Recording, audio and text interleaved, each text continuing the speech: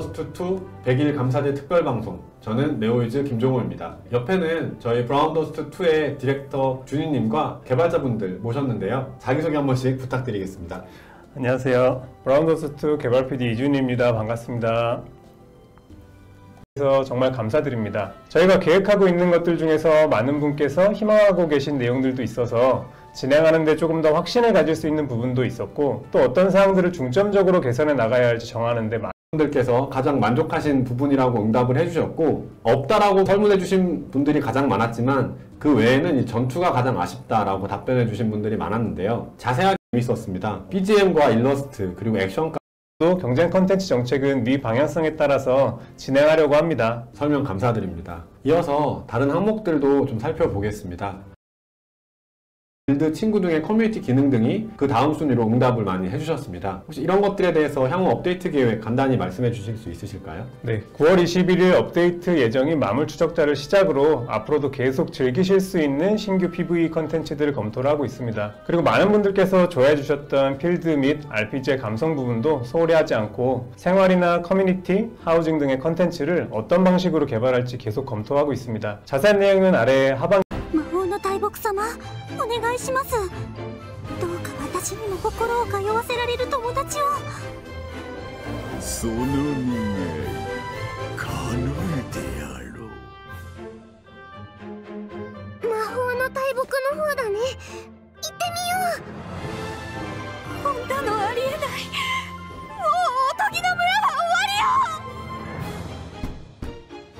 よ。あんたも母上が送ってきた資格なんでしょ下がって。チャンスは一度きりだよ。さあ罰を受ける時間よ。あなたがしたことを考えればそれくらいの罰軽いものでしょ？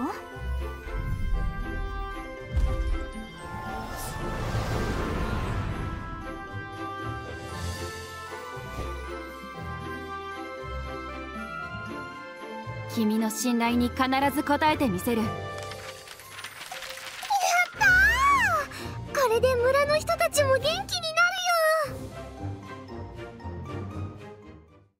이번 캐릭터 팩 5, 네, 다섯 번째 캐릭터 팩의 컨셉은 귀여운 동화라는 걸 한눈에 알 수 있겠는데요. 경재님, 어, 다섯 번째 캐릭터 팩의 컨셉 분위기를 딱 잡아주는 쪽으로 진행을 했고 역시나 로에게 있어서는 각선미가 제일 중요하기 때문에 다른 곳은 디테일이 많은데 비해 다리 부분이 있을 수 있는 점 감안해서 봐주시면 좋을 것 같습니다. 네, 이런 식으로 기존 보스들과 달리 한 마리의 보스가 3 곱하기 4 전투 타일에 여러 칸에 걸쳐 존재하게 되고요. 보스가 위치한 타일들의 광역 공격을 하면 피해가 모두 합산되어 들어갑니다. 일부 타일의 부위는 약점이라서 타격하면 피해를 더 많이 줄 수 있고요. 이런 특징을 고려해 이런 아픔 같은 것들이 를 하니까 과거의 도트 RPG를 TV로 즐기는 느낌이 나서 좋았습니다. 네, 현재 영상에서 보시는 것처럼 윈도우 환경에서 이용하실 수 있고요. 조작은 키보드와 마우스로 가능하고 결제 기능은 아직 지원하지 않고 있습니다. PC게임처럼 플레이하다 보니까 일부 단축키를 지원하기는 하는데 다른 PC게임들처럼 저도 하면서 더 많은 기능들을 원하게 되더라고요. 쇼케이스 때 예전에 말씀드렸던 콘솔 모드가 있었는데 그러려면 컨트롤러 지원이 되어야 되는데 현재는 터치 화면에 맞게 설계된 UX다 보니까 꽤 많은 부분 R&D가 좀 필요한 상황이었어요. 그래서 일단은 앱플레 다양하게 준비된 한정 굿즈를 제작을 했고 100일 감사제 기념으로 진행될 다양한 이벤트와 함께 여러분들께 이벤트 보상으로 전달 드릴 예정입니다. 네, 보시면 이제 말씀해 주신 것처럼 뭐 아크릴 피규어라든지 아크릴 무드 등 엽서 유저분들께 아쉽지만 많이 제공에 대해서 소개해 주신다고 들었는데요. 그 전에 네, 한국 돈으로 약 4천만 원 상당의 규모이고요. 모집 컨테스트는 총 두 가지 부문으로 캐릭터 팬아트와 새로운 코스튬 디자인입니다. 자세한 내용은 9월 27일 콘텐츠 코스튬이나 또 장비가 나올지 벌써부터 기대가 되는데 어, 그러면 하반기 로드맵 살펴보도록 하겠습니다. 말씀해 주시죠.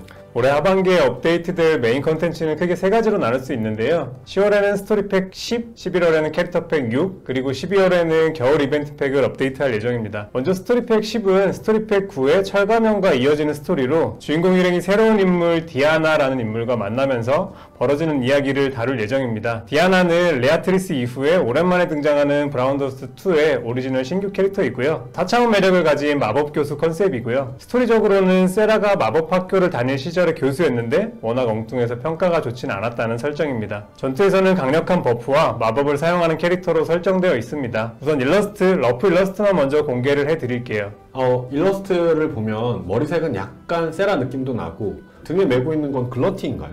아, 네, 맞습니다. 어깨에 글러티가 먼저 보이실 텐데 저 글러티는 이레귤러티라고 해서 글러티 중에서도 특별히 똑똑하고 희귀한 존재라는 설정입니다. 디자인은 오브님이 진행해 주셨고요. 제 최애 캐릭터 브라운더스트의 라우라를 제작해 주신 분과 함께 육감적이면서도 잘 가 가장 소중한 가족인 루비아를 만약 잃게 된다면 어떻게 변할까? 라는 주제를 잡고 진행했습니다. 조금 우울한 주제기는 한데 조선시대 무협이라는 배경을 잘 표현하려면 한국적인 정서인 한 그리고 운명에 순응하여 치유받는 느낌을 살려야 한다고 생각해서 과감하게 도전을 해봤고요. 역시나 그 느낌들을 성현님을 비롯한 디자인 담당자들께서 너무 잘 살려주셔서 완성도가 정말 높아졌다고 생각하고 있습니다. 어, 저도 어렸을 때 무협소설 수업 시간에 많이 몰래몰래 읽었었는데 이렇게 우리 게임에서도 볼 수 있게 되니까 기대가 정말 큽니다. 혹시 어, 실비아 일러스트는 성현님이 맡으셨을까요? 네, 디자인은 제가 맡았고요. 어, 어릴 적 스파 춘리, 킹오파 마이, 디오의 현대 도시지만 사실 스토리팩 6에서 사도로 등장했던 모르페아가 도시의 모든 것을 감시하며 마음대로 통제하고 있다는 설정을 가지고 있고요. 이 억압에서 해방되기를 바라는 주인공 일행이 레지스탕스로서 모르페아와 맞서 싸우는 내용으로 기획을 하고 있습니다. 그리고 말씀 주신 것과 같이 겨울 이벤트 팩은 이벤트 기간 내에서만 참여할 수 있는 한정 컨텐츠 팩입니다. 옆에 보이는 일러스트는 바니걸 컨셉의 이클립스인가요? 겨울 팩인데 코스튬은 굉장히 시원시원해 보이는데요. 맞습니다. 꼭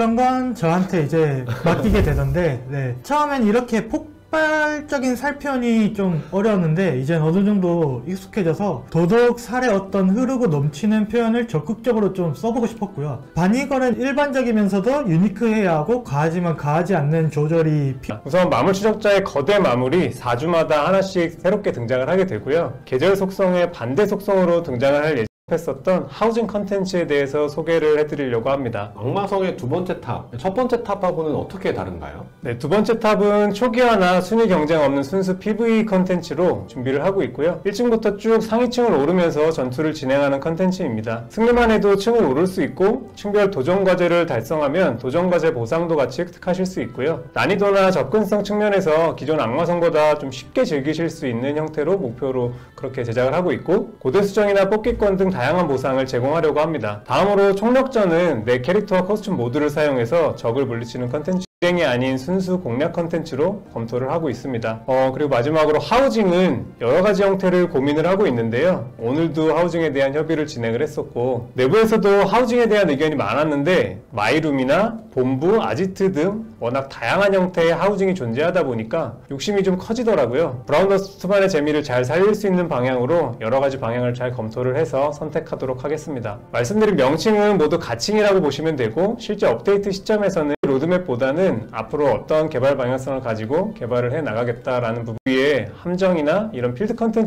6부터 앞으로 출시되는 신규 팩들은 모두 풀더빙으로 진행하는 것을 목표로 진행 중이고요. 2023년 하반기부터 2024년 상반기까지 기존의 파트 더빙이었던 팩들도 순차적으로 풀더빙 업데이트될 예정입니다. 풀더빙은 저희 스토리팀에서도 중요도를 아주 높여서 진행하고 있는 프로젝트인데요. 한국과 일본 성우분들의 스케줄을 아주 긴밀하게 조정해야 하기 때문에 언어별 로 풀더빙 제공 시기는 조금 달라질 수 있습니다. 되도록 빠른 시일 내에 두 언어 모두 풀더빙을 제공할 수 있도록 노력하겠습니다. 그리고 기존 팩의 풀더빙과 맞춰서 스토리 다시 보기 기능도 좀 더 편하게 감상하실 수 있는 형태로 개선을 해나갈 예정입니다. 네, 풀더빙 진짜 많이 기대가 됩니다. 특히나 기존 팩에 대해서도 풀더빙을 하신다는 거에 있어서 개발팀에서 얼마나 이 브라운더스트 2에 애정이 크신지 정말 잘 느껴지는데요. 저희가 이번 100일 감사제 방송과 같이 공개될 예정인 네온 세이비어 안젤리카 PV도 많은 시청 부탁드리고요. 그리고 마지막으로 세 분께 100일 맞이하게 된 소감 한 말씀씩 부탁드리겠습니다. 네, 캐릭터 일러스트나 캐릭터 스킬 컷신 같이 캐릭터에 관한 모든 것들이 잘 나오고 만족할 수 있었으면 좋겠지만 그러지 못한 것 같아서 어, 캐릭터 전체 담당자로서 많은 부족함을 느꼈었고요. 그럼에도 불구하고 브라운더스트 2 아트를 사랑해주시는 유저분 분들이 계시기에 조금이라도 더 만족을 충지했다는 게 참 신기하기도 하고 여기 만나뵐 수 있도록 하겠습니다. 지금까지 시청해주셔서 감사합니다. 뿌바 땡큐 아리가또 고자이마스 쉐쉐 짜이찐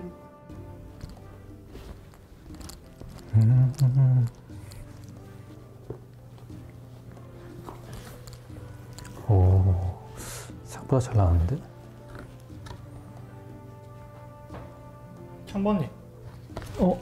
성희님 그 뭐예요? 아 이거 저희 부투 100일 기념 부투로 나가는 건데요 한번 구경해 보시겠어요? 오 대박 이게 굿즈예요? 아 네.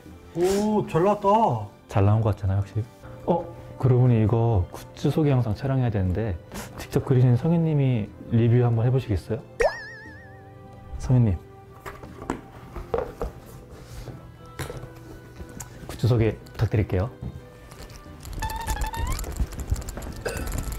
어, 뭐야? 제가요? 저기요? 아니 연기를 이렇게 어색하게 하고 가면 어떡해? 왔어요. 그래서 제가 크릴 무드 등 그리고 장패드입니다. 뭔가 나 우리 브라운더스트에 환정하거든요. 자세한 사항은 커뮤니티 내 공지사항을 확인 부탁드리겠습니다. 유저 여러분들 브라운더스트2 많이 즐기고 계실 텐데요. 저희도 열심히 개선하고 새로운 컨텐츠들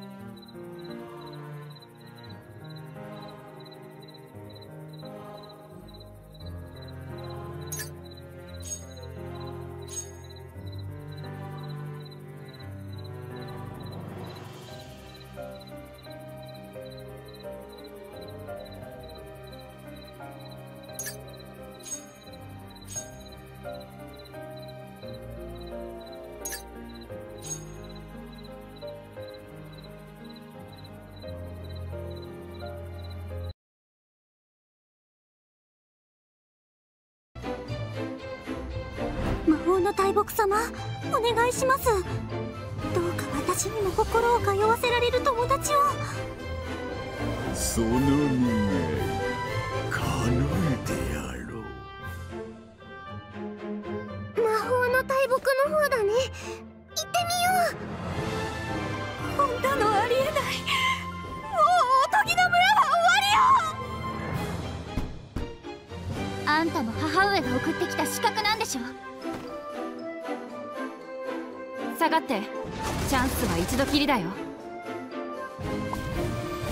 さあ罰を受ける時間よ。あなたがしたことを考えればそれくらいの罰軽いものでしょ？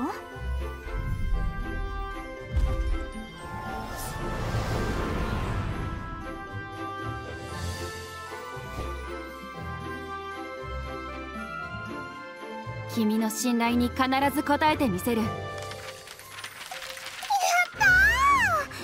れで村の人たちも元気に